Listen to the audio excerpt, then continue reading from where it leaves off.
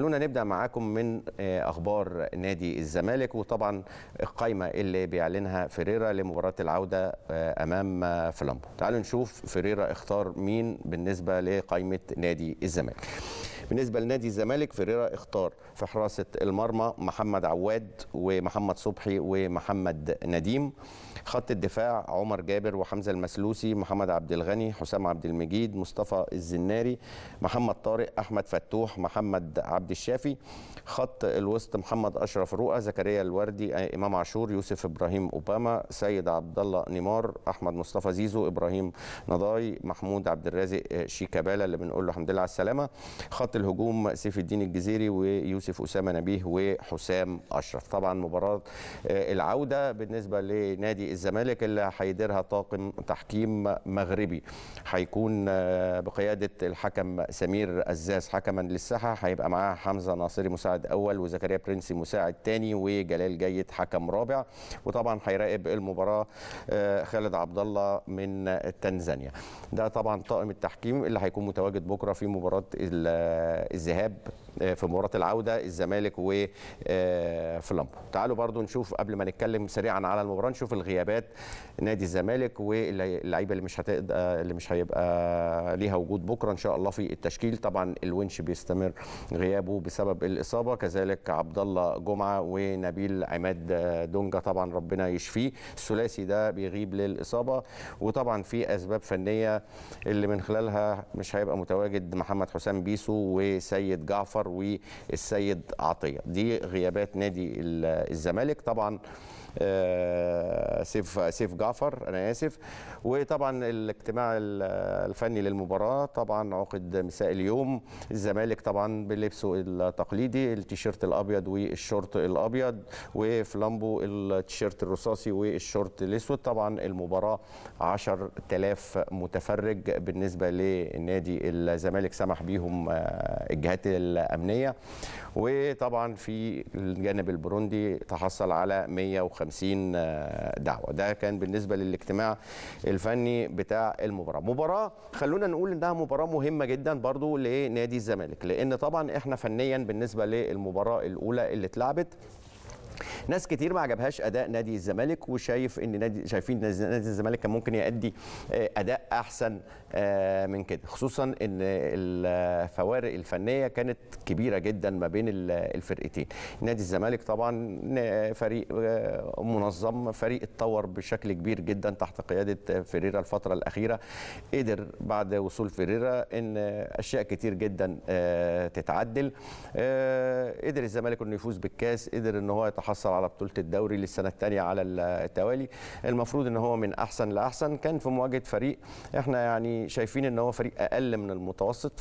فريق يعني كمان نقدر إن إحنا نروح نقول إن هو فريق متواضع. وكانت ناس كتير تأمل إن أداء نادي الزمالك بالأسماء اللي موجودة جواه إن هو يبقى أحسن من كده. ولكن يعني ده ما ظهرش خالص على أرضية الملعب. وكان في انتقادات كتيرة للاعيبه الزمالك على أدائها. وكذلك يعني الانتقادات طالت حتى المدير الفني. ولكن يعني أنا بصراحة برضو دي نقطة مهمة جدا. أنا معجب جدا بال يعني الهدوء اللي بقى موجود جوه مجلس إدارة نادي الزمالك. وشفنا يعني الموقف حتى الكابتن جمال عبد الحميد هو طبعا عضو مجلس إدارة في الزمالك ويعني من أكتر المشجعين لنادي الزمالك. ما كانش عاجبه الأداء ويمكن كانت انتقاداته طالت فيريرا شوية.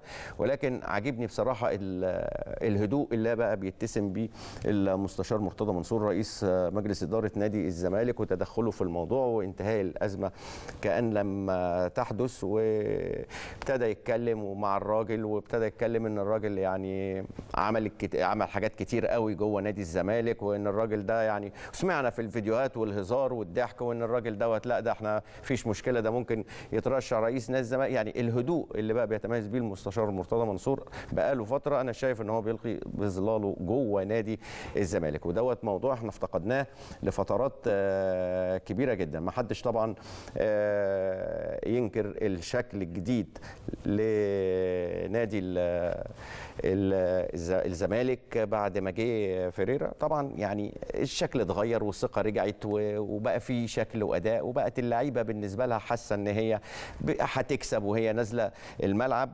وده كان شيء مهم جدا في الكوره قبل الحتة الفنية. الحتة الفنية طبعا اتظبطت بشكل كبير جدا.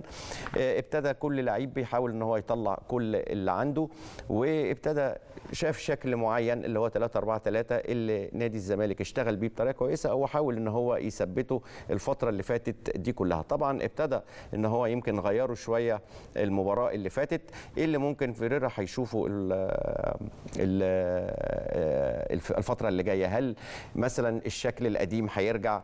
هل مثلا ممكن يكون عشان ال- ال- ال- الفريق آه، البروندي مثلا متواضع شوية فعادي ما فيش مشكلة إن أنا أغير طريقة اللعب والعب ب 4 3 3 شفنا الصفقات الجديدة ابتدت تشتغل. آه، مع نادي الزمالك شفنا الوردي بياخد شفنا إبراهيم نضاي بيشتغل شفنا عمر جابر جديد وفي نفس الوقت الراجل يعني كابتن ال- الفريق ومتربي جوه نادي ال- الزمالك. طبعا هي السيطرة كانت في معظمها طول المباراة لنادي الزمالك ال- ال- المباراة الأولى. ولكن لا كان الأداء كان المفروض يبقى في يعني في أحسن من كده.